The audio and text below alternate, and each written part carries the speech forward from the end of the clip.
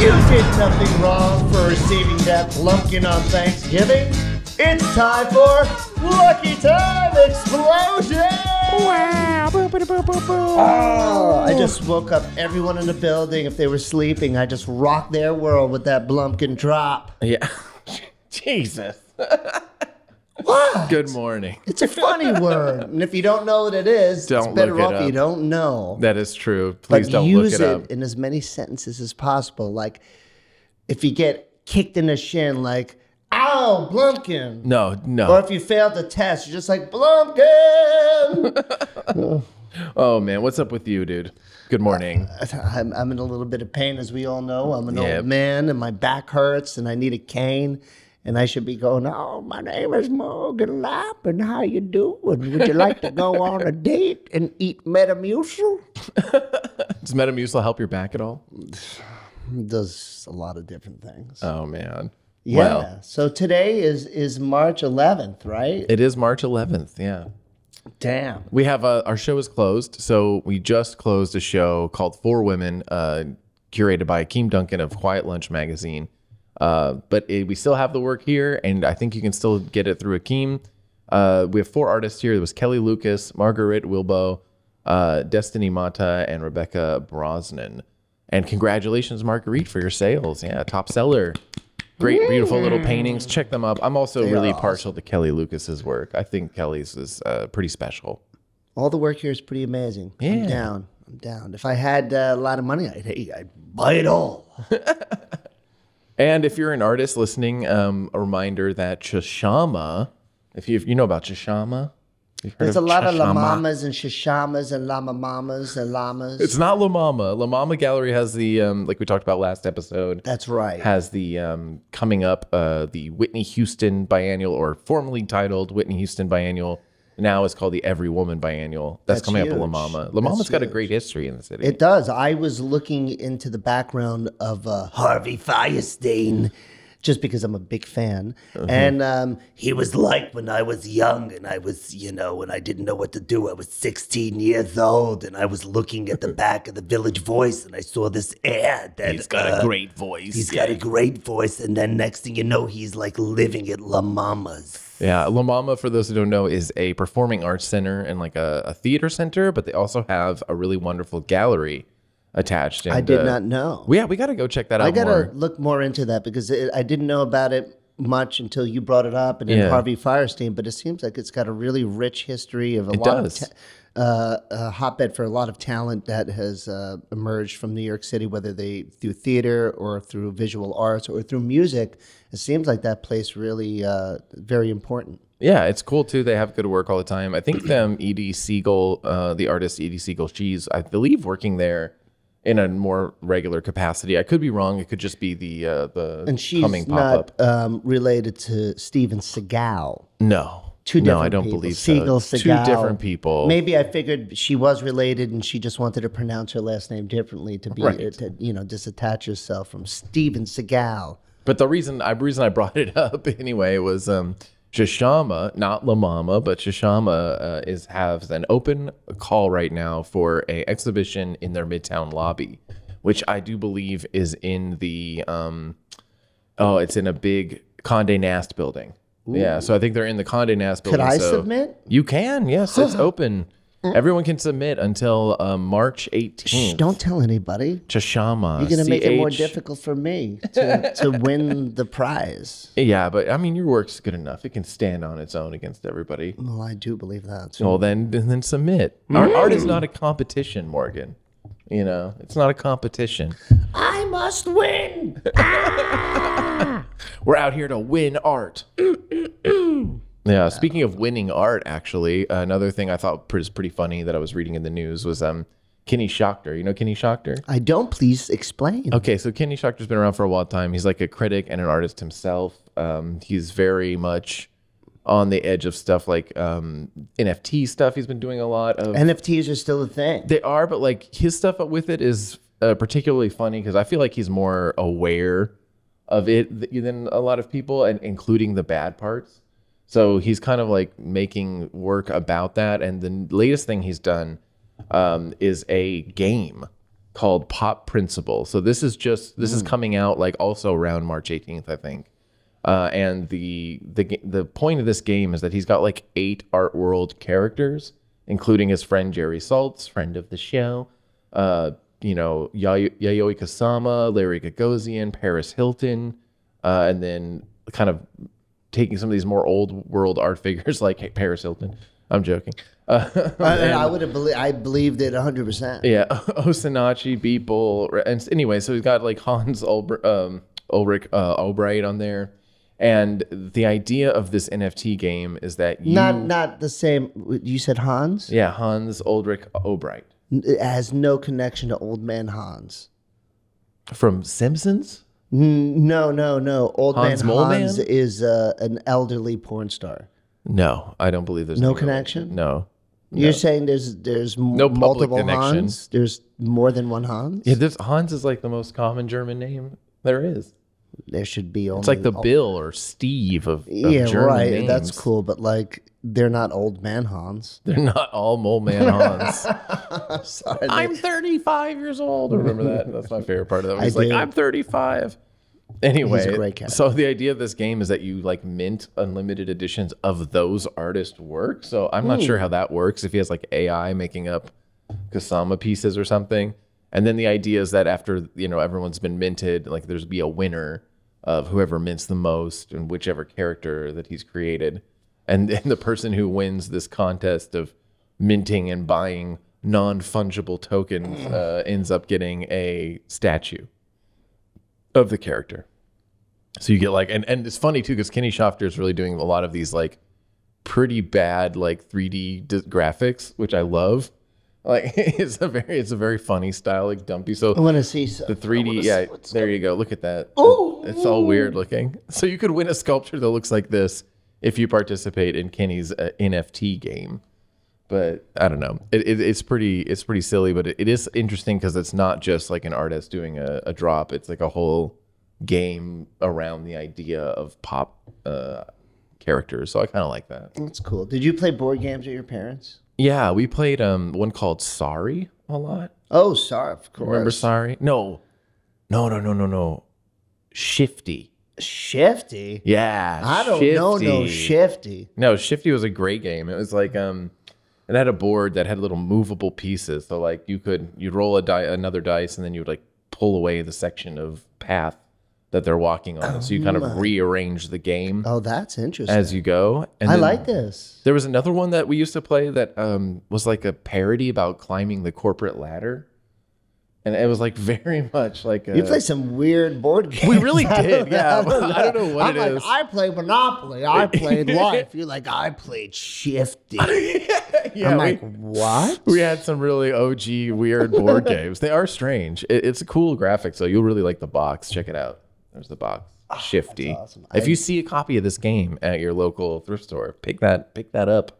That sounds really awesome. Yeah. Yeah, no, I yeah, I played the traditional, you know. There was one old school one though called Booby Trap. Do you know Booby Trap? Is it like Mousetrap? No, it's well, Mousetrap is awesome. Mousetrap was awesome. There's so many pieces. there are a lot of pieces. And if you like lose any of those pieces, you're kind of like screwed. I bet you could get like replacement places on eBay. Oh yeah, well now with 3D printers, you could probably design your own fucking. Oh my god! Wait, I do I do have an art related Sorry. thing about Mousetrap actually. Because uh, one year I was at Burning Man Festival and they had a. Sorry uh, how dare you?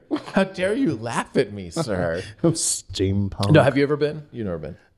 No, but I, I, when I first moved to Brooklyn, a few, two of my friends went there. Yeah. And uh, this is like 2008. And when they came back, they were not the same person. So like really when I saw them? that, I was like, You're like, I'm well, never they, going. Well, they were like zombies for like. Well, they good probably year. just took too many drugs. Well, yeah, that freaked me out. Yeah, you don't have to take too many drugs if you go. Yeah, but if you go, you're in the middle of a desert. So what else are you gonna do? It's true. I mean, but the reason I brought Burning Man up in the first place was because at one year I went, they had a life size mouse trap.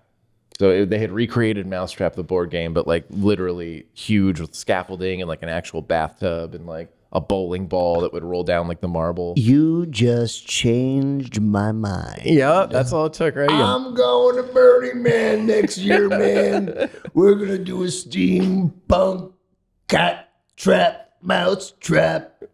I also saw the one of the other coolest things I ever Did, saw there. did it end with an Iron Maiden? No, no, you don't. Oh, you do a sign a wussies. waiver. You sign a death waiver. So like if if they had an Iron Maiden and you got killed by it and there's nothing you or your family could do. I don't do. think there's no way out of an Iron Maiden. they have Don't you some really? stuff that was as dangerous as an Maybe Iron they should have a tickling maiden instead of like They spikes. definitely They, it should have- just be feathers, and you'd be like, and then- but you would still die because you'd like laugh to death. They definitely have people tickling you there. There's a lot of kinky stuff. Yeah, I gotta. the I, I need corners. to maybe rethink this whole burning. My You know, I'm I'm actually, I'm a little bit surprised that they still call it Burning Man. why, unless the name of it. I'm shocked that they didn't turn it to Burning Person That'll happen or, eventually, or probably. Burning Them. burning they them. Yeah, no. Uh, but I had the same opinion of Burning Man when I first was like, my friend Max was trying to get me to go. Max Savage, shout out to Max What by the way. name. Yeah, Max Savage. Actually, okay, tangent again, but it's worth it. Max Savage is an amazing producer, music producer. I worked in the movie theater for many years. His mother used to work at Adobe, and Ooh. when they were trying to come up with a name for their 3D software, um, they somebody suggested or like as a joke or something, just called it 3D Max, and that is because of his mom's naming her new son Max. So the 3D Max in Adobe's old 3D Max was literally named after Max, my friend Max. That's pretty awesome. Yeah, Max is cool. He's he's doing a lot of cool musical stuff. So he's his full name is. Maxwell. He, is he a Maxwell or just a? I, I think he's a Maximilian. Oh, that's a Yeah. big. That's a you know that's. I feel like you got a name like that. That's like a lot to live by. Yeah, but he was the one who was trying to drag me to Burning Man originally, and I was like, I'm not interested in your hippie festival. Hmm. I'm like, I don't want to go to a bunch of hippies in the desert. That sounds awful. And I was, he's like, No, I swear, I promise you, I promise you, it's great. And finally, I buckled, and I was like, All right, fine, I'll go. And, And what and year I is went. this? oh god, that was probably like 2000. Holy cow! Because I went for like five years in a row, and I think the last year I went was like 2005 or six or something. It's been forever. It's probably way cooler back then, though. I'm guessing. Well, that's the other I mean, thing it's about hard. I mean, I never went to what the fuck. Well, that's the thing about Burning Man that's so kind of annoying. One of the things that I find really annoying about it is the, there's a culture to like constantly complain that it was better back in the day. Like no matter when you go, if you When did started it going, start? Like- 1986. 1986. Yeah. So the story of Burning Man uh, is that uh, this guy uh, went to Baker Beach in San Francisco because he had been broken up with, and he was all depressed. So he built a like life size effigy of himself, I guess, and went to the beach to burn that as some sort of weird art healing process, right? And when he did this, he attracted like a crowd of people on the beach, and they were all like, "This is awesome. Are you gonna do this next year?" And he was like, "I, I guess." I hadn't planned on it, but if you guys are gonna come back next year, let's do it again. So they do it again next year, and they did it for the few first couple of years uh, on the beach at Baker Beach. But it gathered such a huge crowd that the city of San Francisco was like, "You've got to go. Like you can't be doing this here on the beach." So they researched their options, and they ended up going to Nevada, where the, it still happens in the Salt Flats, and uh, it was free to attend. I wonder. I wonder if the Wicker Man had any inspiration. Oh, totally. Dude, it's totally Wicker Man. Like it's totally pagan festival Wicker Man inspired. Yeah, But yeah. the funniest story, which I've heard told a few times, and like I don't know if this is like an urban legend at this point, but I love it, is that um, Dr. Dre is responsible for Burning Man uh, continuing and for being like a commercial enterprise. The story goes that Dr. Dre was in the desert filming uh, California Lovin' with Tupac and you know them. I know. I, I know who Tupac is. you don't remember California Love? Oh, the- the video. Yeah, with the Oh. Thunderdome. got it. Got it. Got it. Yeah, so this big Thunderdome out in the desert, and they were filming that, and then they ran across the Burning Man festival, uh, and and then he was talking to him, and he was like, "What are you hippies doing out here?" You know, and they were like, "Oh, we're doing this thing. It's a festival, and it's like free to attend, but you know we can't pay the land permits." And he goes, "Would you charge tickets?" And they're like, "Nah, it's free." And he goes, "Okay, well, I'll pay your, I'll cover your land permits if you charge tickets and cut me in." So apparently, the urban legend goes that Dr. Dre is a silent partner in Burning Man and helped to establish a Black Rock City, you know, c- company that deals with Burning Man. I could believe it. I could believe And it. And then it became a huge party promoter. And whether or not that's true, what is true is that the the organization behind Burning Man gives out more money directly to artists than like the entire National I Endowment of think the they Arts. should give a lot of money to burn and others. victims.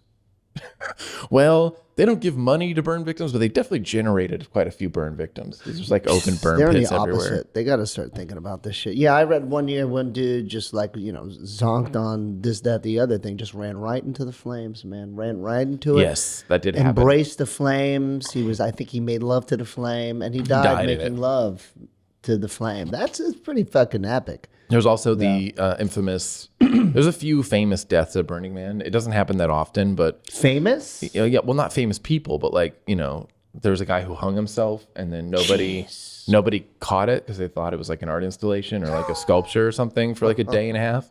So he's just hanging there, and then eventually people realize, no, that's actually a dude. Um, there's also a guy who fell off a laughing, giant dome. Yeah, I mean- well, I mean, it's kind of like a, com- a comedic thing that I think people have done after the fact or before the fact, even made a joke about that, and then it actually happened. It's hard not to. I mean, that they thought it was an art installation. and Right. fucking, And then there's a woman who got Oh, um, run over by the ship. There's this giant ship, like there's these art cars that run around. And then there's one like school bus that's made to look like a Spanish galleon, and that just like ran this lady over, and then it was banned from the Excuse festival me. for a while.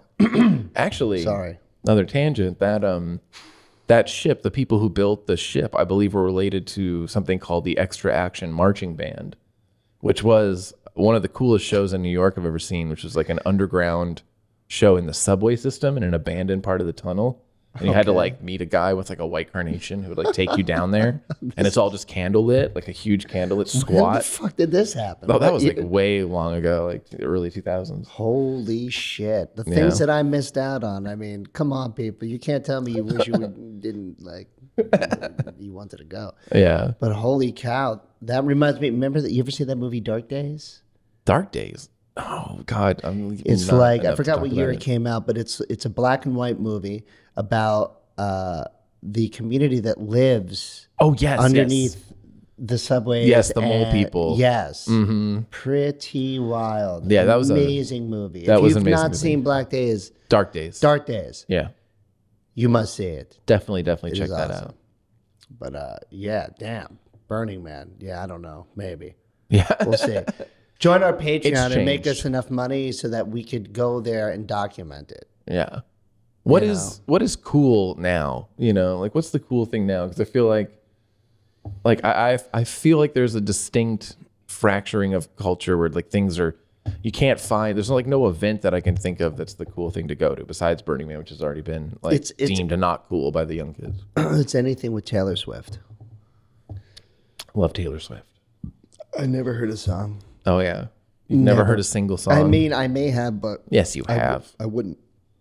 I couldn't be like, oh, this is Taylor Swift. I listened to. Uh, He's a huge Swifty. He's lying. He's No, making. He's making this up. I, I listen to listen to like Swing Out Sister and like. Nice. Are there any good shows coming up? Um. Like music or art? Actually, believe it or not, I am very close friends with a very talented lady named uh, Karen, and um, she has a band called Ridiculous Bitch uh, with her husband, and they're actually pretty bad ass rock and roll band, and they're playing TV Eye. Uh, March 24th, which is a Sunday. And if you've never heard of TV Eye, I actually just saw um, Omni play there. It's a very cool venue in Ridgewood. Oh yeah, how Um, was the Omni show? It was very cool. They were Yeah. great, man. They're they're they're a tight band. They're they're pretty awesome. I can't remember if I missed Otoboke Beaver or if they've already come and gone, or if I can still see them at Knockdown. I, I show you Otoboke Beaver, the uh, You like the did. Japanese hardcore girls. And and I think that's coming up in Knockdown Center. Yeah. is an amazing space. If you've never been there, it's just absolutely gigantic. Um, that's in Maspeth, I Yeah. believe. Yes, very cool venue. If you've never been there, and It's a huge. A, a band that you love is playing there. I would take the opportunity to go and see that show. Totally. Yes, How's the um, collage, the planning for the collage show coming? It's going very good. Yeah. It's gonna be the biggest show in the world. Here it's so National Collage Day. That's right. It's gonna be groovy. Um, that's gonna happen. I mean, I well, I think we're still messing with some dates, but what is it? We moved some No, things around. We're having it on, but the reception will be on International Collage Day, That's right. the 11th of May. And you must come to this show. It's the, Yeah. the most important. If you're a collage artist and you don't go to this show, people will be wondering why you didn't go to this show, and you're gonna be shunned for the rest of your life. Anybody who's anyone is gonna be there. That's right. Most likely Jackie Chan, Freddie Prinze Jr., Bilbo Os- Baggins, Oscar the Grouch. the most important people. I feel like that's what your head looks like. It's just a menagerie of um, puppets. Like it looks like a. I think it looks like the large, the Sergeant uh, Pepper's Lonely Hearts Club Band cover, but it's Oh, just it all definitely puzz- It's just all puppets. That's like uh, I don't know. This is an obscure and Harvey because Weinstein shoved in there. Whatever yeah, his no, name. is. he's he's like, hey, no, you're well. That's it. There's a lot of Harveys. He's That's a different guy. Harvey. Yeah, I mean, he may walk through my mind at some point. Actually, Harvey Weinstein's the one who went to prison for But uh, yeah, molesting no. women. Not that's not what we meant. That's not I what mean, I meant. he I meant may have been one. he may have been there at a party within my head at some point. I can't lie. But anyways, besides that, um, do you remember a show called Herman's Head? No. It was only on for a couple of seasons. It was this guy, and he wasn't in too many things. Basically, the show is that he works in this office. Actually, his manager is Hank Azaria, and the voice of Lisa Simpson is the accountant. And uh, the show is that he has like six characters that represent him in his own head. That when he comes to a situation that needs to be worked out, that he needs to figure out, they all like you know work on situations within his head to how to react to those situations. It's called Herman's Head. Interesting. But um, I think it was early '90s. But another obscure. Cartoon. No, it wasn't No? a cartoon. It- Live you know, action. It made me think about. Um, do you remember that cartoon, The Head? Oh, on MTV. Yeah, that. Yeah, that was crazy. That was a weird show. The alien lived in his head, and then it actually hatched and like shit. the big, the big alien. He had the giant Yeah. head. This is during the time of uh, liquid television, and this Yeah. is also going back some. Very, I mean, that's where Beavis and Butthead started. The first uh, episode or anything ever seen on TV with Beavis and Butthead is when they're playing frog baseball. That's right. And it's like very crudely. I mean, it was always Mike Judge. All that was always crudely drawn, but this is even way more crudely drawn. Um, and they're just like in the backyard, like using frogs as baseballs. But if you've never heard of liq uh, Liquid Television from MTV, um, Aeon Flux, that's where it originated from. Liquid uh, Television. yeah, they were on that originally too. Check it out. It's awesome. It was cool stuff. It was Very cool stuff. cool. What's the equivalent today? Do we have I anything would like it? say Adult Swim Smalls, but they, Yeah.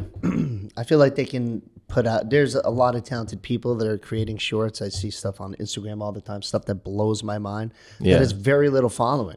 And I'm like, how is no one following this? This is insane. And these, some of these people have been doing it like. They're just waiting, you Like know? us. They're just yeah, pretty much. But We're on um, there. Even sometimes, if you do get featured in smalls and stuff like that, or in magazines and stuff like that, you got to keep on going. You can never stop. You got to keep the traction up. You got to keep a buzz. You got to maybe even lie, fake, cheat, steal, kill.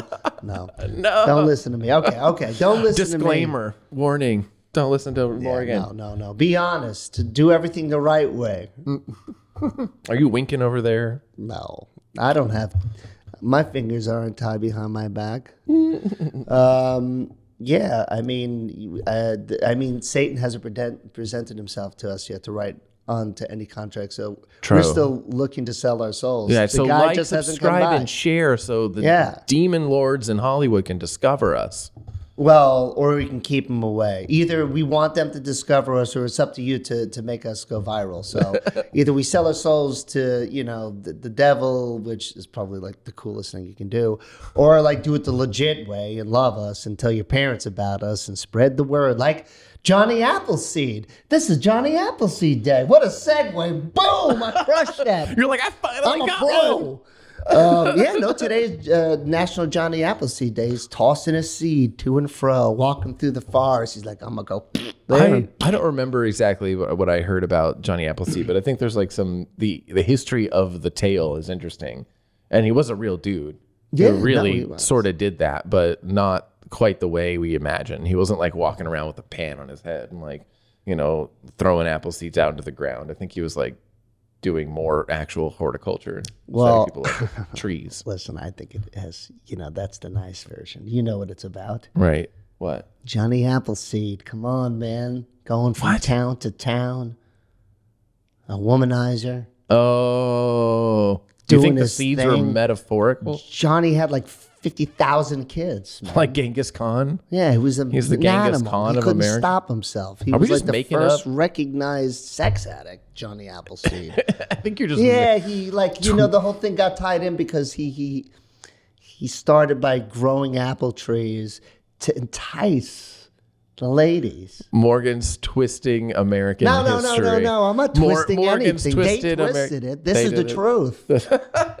so Johnny was like this down and out, and he didn't know what to do. He did a few different types of seed things. It didn't work out. And then one day he's like, "Listen, I'm gonna, I'm gonna get some apple seeds. I like apples. They're healthy."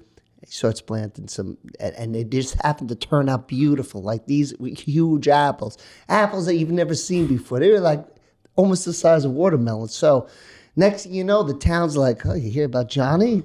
And they're like, no. We're like, you gotta look at his apples, man. You gotta go over to his property and and take a look at his trees. and so the word got out, and and and men and women alike visited the these trees. And at this time, you know, the ladies got together. They left the husbands. The husbands are like, "Man, I wish I grew trees like these." And the ladies are like, "This Johnny, this Johnny, who is this Johnny Appleseed?" So next thing you know, he's causing all these problems. The women are flocking over the Johnnies. They do need to know why his apples are so huge. and next thing you know, he's like, "You know what? This is art. I'm taking this shit on the road. I'm gonna be planting apple trees. The women are gonna be chasing me. My my apples are so big and supple that they're, they're not gonna be able to resist. One thing leads to another, and Johnny's running around the states slinging his seeds. A hundred percent fact checked. Yeah. Mor- Morgan's revisionist American history will be a new segment on here. Cut the revisionist out. Yo, what are we this thinking is the about? truth. They revised the truth. This is the truth. I study. I research. I look at. I surf the web. I go to dot coms and dot edus and orgs and nets. No. Yeah, I go to them all. Oh man, stick to Google Scholar, right? My my We should take a vote from my people. mouse is a surfboard. It's like shaped like a surfboard. I'm always like cruising the waves. I got like sounds of like whales screaming at me from. This is when I go on the web. I'm in the zone. But yeah, I get in my own world. You live in your own world, my guy. And I, I want to be a part of it. And you can be a part of it too by joining our Patreon. That's right. All right. What should we what should we do next week? I want to I want to debut a segment. Maybe we, maybe we can have the people vote on it too, because I, I want to do either. Yeah, that'd be cool. I kind of want to do that segment where we go to uh, review some ridiculous comments on Instagram where people are like arguing about art. I always find those really I got funny. in big trouble once Why? because when AI first started, well, the, the images and everything, like it was Uh-huh. like really hot. Right? Um, I made a bunch of. Um, we can get into this at, at another time, but I made uh, Kanye West kissing um, Elon Musk, Yeah. and it stirred a lot of controversy. Did it? We could talk about it another time, but it, Sure. it, it was it was not taken lightly. A lot of enemies became friends. A lot of friends became enemies. yeah. Yeah, it's good times. but anyways, Internet yeah. drama. Well, maybe we'll do a little bit of that tomorrow. I'm gonna dig around for some really funny ones for Wednesday. Yeah, subscribe if you like the show. Subscribe. Yeah. like the video. Thanks for listening and happy Monday, everybody. Tell your parents about us. Tell everybody. when you use the Ouija board, the spirits that you talk to, be like lucky Right. time explosion. No, Listen to this. Wasting time on the internet. We need a magic ball. Okay, we'll get a magic ball for next time then. Nice. All right, sounds good. Last thing uh, was coming up is Gia this Thursday. Come out and see Gia's show. She is a traveling mystic who does interesting digital manipulations. Mystic she is. Check out check out solas.studio slash gallery, and I'll see y'all next time. Thank you for listening to Lucky Time Explosion. Watch the video edition on Patreon, a green screen extravaganza experience available exclusively to official Lucky Timers. This episode was recorded at Solas Studios in Manhattan, New York, helping artists make cool shit since 2016.